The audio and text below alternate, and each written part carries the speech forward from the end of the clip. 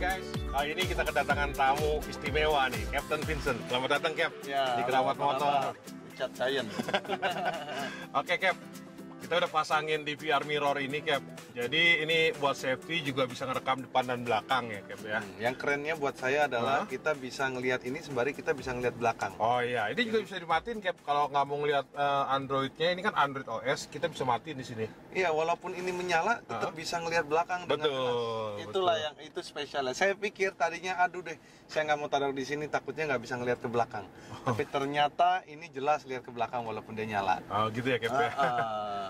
Dan ini ada tambahan untuk eh, segala macam karena aplikasinya Android peruntukan saya mau pakai buat GPS. GPS ya. Ya, kita klik di sini. Jadi kita bisa gunakan untuk GPS. Oh, oke. Gitu. Iya, Mudah-mudahan suka ya, Cap ya. Terima kasih. Thank you, Cap. Oke. Oke, guys.